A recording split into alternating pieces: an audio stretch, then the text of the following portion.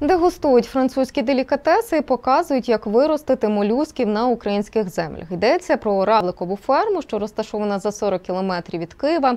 Туди літніми днями навідується все більше гостей, як з України, так і з-за кордону. Посмакувати естарго та дізнатись секрет успішного розведення середземноморських молюсків відправились і наші журналісти. Український прованс неподалік від Києва. Ось на цій землі вирощують не огірки, не помідори, а справжніх равликів. Два роки тому цю ферму відкрив Михайло. Разом з дружиною вони планували продавати равликів за кордон. Рік тренувань і все вийшло. Врожайність стягнула майже 50 тонн. Однак пандемія внесла свої корективи, і тепер ця ферма для зеленого туризму. Охочі можуть подивитися, де і як живуть вусаті молюски. А починається все у цьому приміщенні. Взимку равликів пробуджують та створюють для них, так би мовити, курортні умови.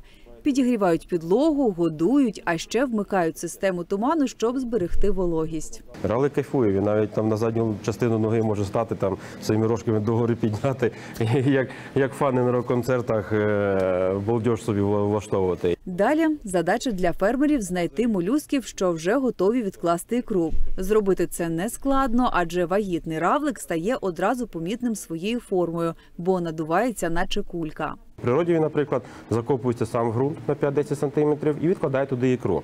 Ми ж для нього ставимо такі горшики землею. Якщо подивитися, ось є вже ікра. Наче у пошуках скарбів робітники ферми починають розкопувати ікринки. Це кокон, котрий дав один равлик. Тут в середньому десь 100-120 ікринок.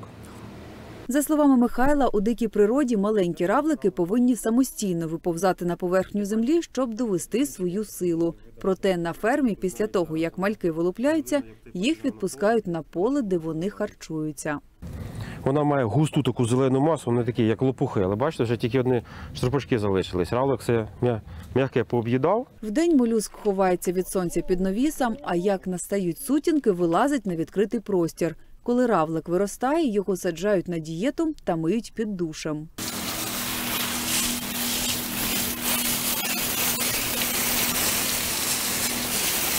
Далі вже чистого молюска починають висушувати. Тепер справа за кухарями створити справжній делікатес. Соусів та варіацій блюд безліч, тому і формулу ідеального рецепту можна шукати довго. Наскільки він корисний або шкідливий, саме філе равлика. Е, То я кажу, перед, ва- перед вами людина, котра за півроку до 300 кілограмів равлика з'їла сама, тому що ну на кому буде дружина моя соус ви- випробовувати.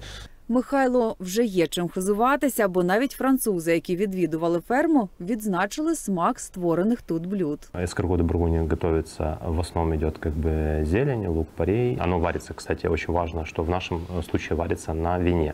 Подають тут фаршированих равликів, салати та навіть бургери з молюсків. Після таких страв можна не боятися зайвих кілограмів, запевняють кухарі, адже м'ясо молюсків вважається дієтичним та корисним на амінокислоти. Тетяна Остролуцька, Олександр Хан. Новини Правда тут.